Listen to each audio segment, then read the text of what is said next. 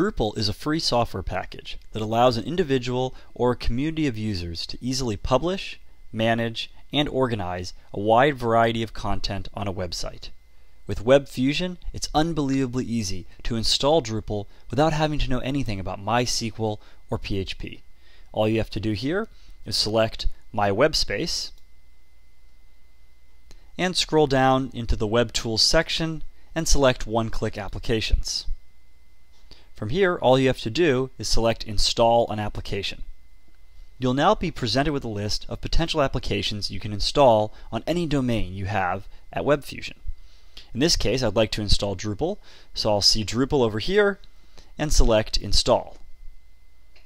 Once I've selected I'd like to install Drupal, all I have to do is read through the Terms of Service Agreement and accept both the Web Fusion and the Terms of Service Agreement for Drupal. Now I simply click Next. Now here's the great part.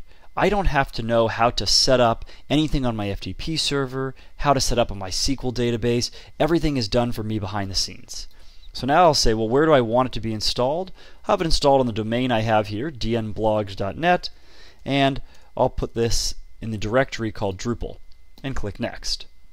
Now it's asking me to select a password for the database. In this case, I'll pick a password and click Next.